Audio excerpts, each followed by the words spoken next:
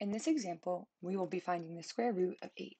In order to find the square root of 8, we will first review an important math rule, that the square root of a times b is equal to the square root of a times the square root of b, meaning that if you have two numbers multiplied by each other inside of a square root, you can separate them out into their own individual square roots with multiplication separating them.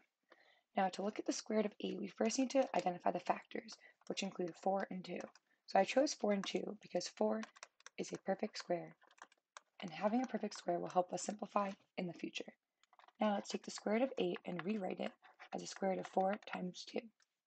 Using this math rule we previously established, we can then write the square root of 4 times the square root of 2.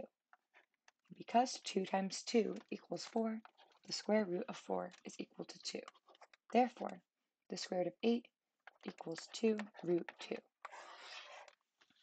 Although this is simplified, we can also look at estimating the square root of 8 to the nearest whole number. In order to estimate the square root of 8, we can look at perfect squares nearby. 2 squared gives us 4, and 3 squared gives us 9. Because 8 is between 4 and 9, we can write the following inequality. The square root of 4 equals the square root is less than the square root of 8, which is less than the square root of 9. Because 2 squared is 4, the square root of 4 will be 2, and because 3 squared is 9, the square root of 9 will be 3. Therefore, the square root of 8 lies between 2 and 3.